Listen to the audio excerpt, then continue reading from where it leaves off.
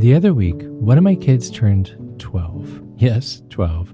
If you remember one of the early episodes, What Do You Say to a 10 year old? My, how far we've come. The world being his oyster, he wanted to spend the day at an amusement park close by. While I thought my days of hanging upside down and spinning in circles until my face turned green were way behind me, it seems they have returned on the account of my son's insistence that I ride every single one of the roller coasters with him. Twelve years ago, heck, two years ago, I would have found this charming, but these days it just makes my palms sweat. That said, I love spending time with my kids and watching them have fun. So, losing best of three in rock, paper, scissors to my wife wasn't that bad. I gritted my teeth and busted out my shiniest dad sneakers and braced myself for a day of an adventure. we started off slow and with some of the kiddie rides, and then we worked our way up into the big leagues. And one ride fairly early on in the quote unquote big leagues, well, it got me, I must confess. Straight out of the chute. I knew this one was going to be trouble. Just pretend it isn't real, I said to myself. This is all make believe. Just close your eyes and wish it away. I'm not going to lie, it actually helped. I mentally detached myself from the roller coaster. I got through it Whoa, I said. This is great. At least it felt like it at the time. On a few more rides in the day, I would slip into this checked out state. But then something interesting happened. I noticed I wasn't checking out, I was missing out. The time with my son on his birthday, it began to fade away, and he was right there next to me. It's like my brain was trying to protect me from the day by numbing me out. But in doing so, I was missing out on the very thing I was trying to protect myself from the intensity of the roller coasters, the, the laughter, the screaming, and the energy of my son. It was all too much for my brain to handle at once, and so it did what it thought was best it checked out. But in checking out, I noticed I was missing out on some of the best moments of the day. Moments that I will never get back. Moments that I never wanted to forget. Derealization, also known as depersonalization, and I've even read dehumanization. It's a condition where someone feels disconnected from the world around them intentionally or maybe subconsciously, but it's real, and surprisingly so. The whole idea of life being a simulation, more people feel this way than you can imagine. One study stated 50% of all adults in the United States will suffer from at least one or two depersonalization attacks over the course of their lifetime. 50%. Now, many of you know a lot of my episodes come from listener request. Thank you, by the way, and TikTok. And this is actually something that I found on TikTok. Yes, I love TikTok. The audience is, they're just honest and they're transparent. And if they're trying to work through something, they share it with the entire world. The audience on TikTok, I mean, they're brave because they're not afraid to show their vulnerability. It's inspiring, actually, at least to me it is to see people so open about their struggles. It makes me feel less alone in my own journey. So thank you, TikTok audience. You are an inspiration. But I came across this recently on TikTok derealization, depersonalization. And while it may feel like a, um, an easy coping tool, it's a slippery slope and one that doesn't seem to bottom out anywhere or anytime soon. Now, with those going through depersonalization, sometimes life just doesn't seem real. It's like your body's here. You know that logically, and you know that you're here on this earth listening to this podcast, but it doesn't feel like you are. It's almost like an out of body experience, but not really in a fun way. It's almost like there's a fog or a glass wall between you and the world around you. And whatever you do, you can't seem to break the glass. And the other people around you are like ghosts. And it feels like no matter how much you scream, you can't get through to them. Or maybe, just maybe, you're the ghost. You feel numb, like you're in a dream or in a movie and you're watching yourself go about your day, but it's almost like you're an autopilot. You're not even in your own skin. And if you've ever experienced this, you know that it's terrifying. But sometimes, sometimes people start to disassociate in this way because for them, the real world is even more terrifying. And by that, I mean a world that's more than just a few hours of riding roller coasters. It's a form of escape from trauma, from all the bad, all the horrible parts of life. And you might have learned it as a kid, you know, float outside of your body for a little while and you don't have to face the immense pain of what's happening to you. And for other people, this feeling comes after a panic or anxiety attack. You're so panicked, you're so frightened that your body just starts to disconnect, to, to zone out. It's just too much to be present for. Life is hard. And when life is too hard, we sometimes go away. And being away becomes our natural state. There's no one thing that leads to derealization. It can happen for different reasons, but no matter the reason of what has you here, I want you to realize you are not alone. And I know that's very cliche, but listen to this 200,000 people in the United States suffer from some level of depersonalization disorder on any given day. 200,000 people just in the United States alone. Now, you don't have to go on living like this. As scary as derealization is, facing reality could feel scarier to you right now. I get that. Life is hard, it's scary, I understand, and you might feel ambivalent about it. On one hand, it's terrible to not feel like anything is real, to be so detached. And on the other hand, it's almost like it protects you. Many of you know of my love for the late Zen master Thich Nhat Hanh. So I want to share a quote that he says, and I hope you listen in. Life is available only in the present moment. I'm going to say that again. Life is available only in the present moment. In other words, life is meant to be lived. And we can't live life if we're not here. So is it scary? yes, gracious, it is. And I'm going to be very transparent with you. From day one, I said I would always be honest in this podcast. This is actually something I'm working through personally as well. The pandemic, the social climate, losing my dad, all of these things culminating layer upon layer. But if we go back to that other mantra that I've said many times before, it isn't about you. It isn't about me. It's about us. And right now, what we need to do is be there for each other collectively, to listen to each other, to hold each other up, because that's what family does. That's what friends do. That's what community does. So if you're feeling lost or like you're struggling to keep your head above the water, I urge you to reach out, talk to someone. We're all in this boat together, bobbing the emotional waves of this ocean called life. Many hands light the weight. Together, we'll get through this. And we can. We can do it together. But for right now, I want you to take my hand. We're going to return to Earth. We're going to get both feet on the ground. And we're going to become real.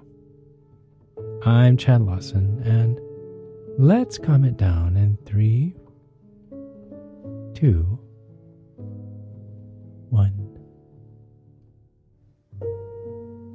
Now, I often lead you in a guided visualization. We're walking in a peaceful garden, that kind of thing. But as much as I love a visualization, and as much as they're helpful to many people, I don't think it's the right thing for you if you're facing derealization or disassociation, because I want you back here with me, not in some imaginary garden, not running around in your head, but right here in the physical world, the real world. So today we're going to practice something called grounding. Grounding is a way to, and this is a little literal, get back onto the ground, to plant yourself here in the present moment, both feet on the ground, solid, present, real. You aren't a ghost. You're not. As much as it may seem fun, especially with Halloween coming up, you are real and you're here. We're here together. So let's do this together. This is what's called 5, 4, 3, 2, 1 activity. And no, it's not from Sesame Street. You may have heard of it, and if you have, please just humor me and let's do this together. So, for this grounding exercise, I don't want you to close your eyes. I want you to use your eyes. So, if you would, open them and see the world around you. Are you ready? Okay. To get started, we're going to take a deep breath in.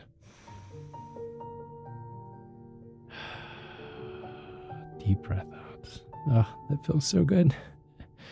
Now, again, five, four, three, two, one, and each number represents a sense. First, find five things that you can see around you without getting up. Maybe it's your cat. Maybe it's a spot on your ceiling.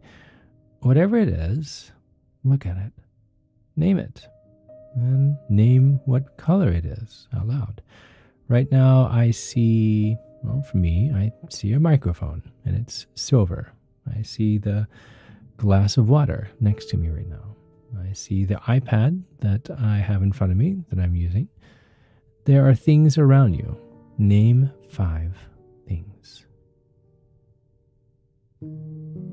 Next, find four things that you can feel, that you can reach out and pick them up. Wherever your hand just grabs, just brush against it.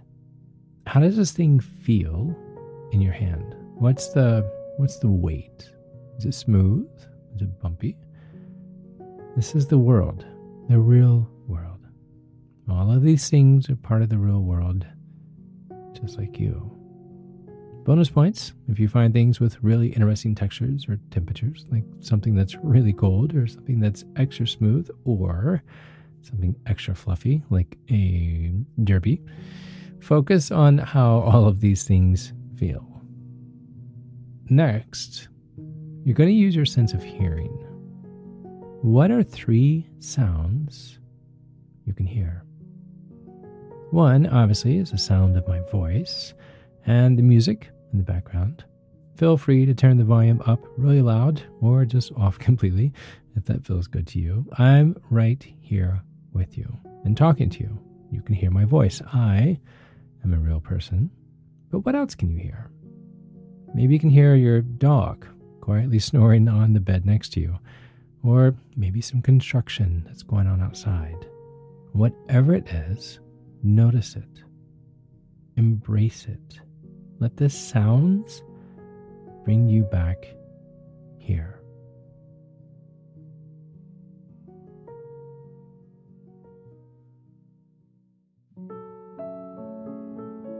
Next, we're going to use our sense of smell.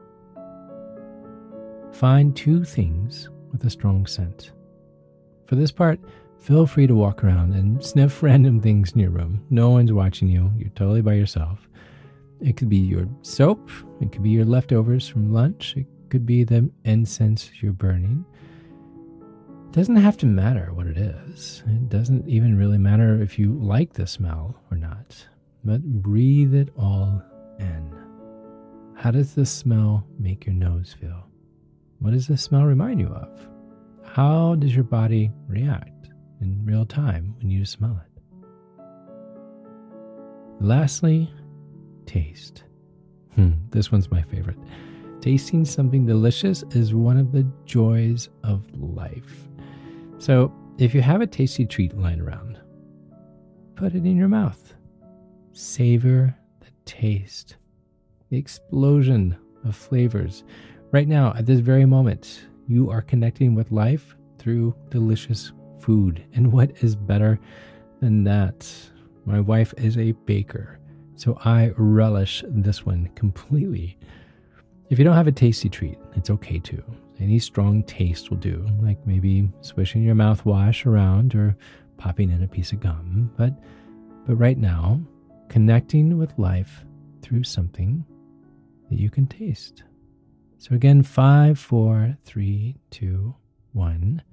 Five things you can see, four things you can feel, three things you can hear, two things you can smell, and then my favorite, one thing you can taste. One last thing, if I may. Usually, when I'm writing or editing an episode, I, I take a number of breaks and come back to it with fresh eyes. Sometimes I think something that I'm writing is, is great. And when I come back, I'm like, yeah, not so much. but my point being, I took a break during this episode, and it was about the same time when I do my daily yoga. Don't worry, I'm not going to get all yogi on you. But the past few months, I've been struggling at best to learn a position in yoga called the crow's pose. And it's basically this awkward position where your hands are planted on the floor, your knees are pressed into the back of your arms, into your triceps, and you shift your weight forward, balancing on just your two hands. I know it's bizarre, and it's as difficult as it sounds, at least for me. But say, today I held the pose for 10 seconds. 10 seconds. I was literally so in shock that I lost my concentration and I fell flat on my face. 10 seconds. I was so excited. It's the longest I have ever held this pose. And I was going to post about it on social media, but I thought that was a bit much. But here's my point I have struggled with this for months. For, for months. And today finally made a breakthrough. I have honestly been smiling ever since. No, I'm not trying to trivialize struggles with comparing them to a yoga pose, but hear me out for a second. I did it. I did it, and it felt amazing. I worked through something that was really difficult, and while I'm still nowhere near perfect at it, there's wind in my sails. I've had that moment of, ugh, this was difficult, but now I see the benefit of working through it. It's easy to passively say, you know, just work through whatever you're going through, you'll be fine. But with some help, with some friends, with some patience, and a little inspiration, there will come a time when you're on the other side of what you're going through, of what you're trying to disassociate yourself from. There will come a time when you can take an experience that you've wanted to ignore and press through, as uncomfortable as it may be. Life is available only in the present moment. I'm going to say that again one last time. Life is available only in the present moment. Are roller coasters scary? Yes. is life scary? Yes. And our scars, yes, they are painful, of course, but life is full of scariness and pain. But it's also full of beauty and joy and laughing and screaming 12 year olds at the top of a roller coaster. You've been given this life for a reason. There's something special about you. There's something special about you that the world needs. This life you've been given has a purpose, and as easy as it may feel at the time, don't let your fears blur your living. Did you hear that? Don't let your fears blur your living.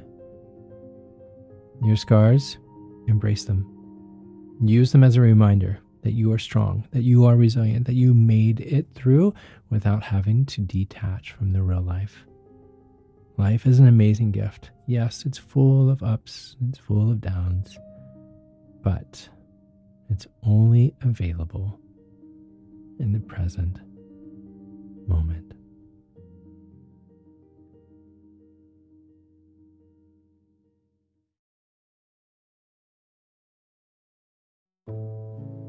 To find more episodes of Calm It Down, hear the musical playlist from today's episode, or simply wanting to know where to send chocolate chip cookies, visit calmitdownpodcast.com. You're not alone. You are not alone. This podcast was written and produced by yours truly, Chad Lawson, composer, pianist, and nationally recognized Sweet Tooth. And now, something my attorney wants me to say. The views, expressions, and techniques in this episode are of my personal opinion and is not intended to, nor should they serve as a substitute for medical advice or diagnosis rendered to you by your individual doctor or other healthcare provider. Only a licensed physician should evaluate your situation, provide a diagnosis, or render other medical advice to you, and you should only act upon the advice of such physician. Now, what I like to say I am an extreme empath by nature but my profession is that of a composer and pianist, not a licensed therapist or physician. I hear from thousands of listeners how my music has helped them through various stages of emotional needs, and I simply want to offer this and future podcasts in aiding those needs. To find a list of licensed professionals in your area, please visit calmitdownpodcast.com. And finally, if you've enjoyed today's episode, please leave a review. While it takes less than 60 seconds to do, its impact will last for years to come as every little bit helps in growing the awareness and the importance of emotional health. I'm Chad Lawson, and until next time, be kind to your mind and join me next week as we calm it down.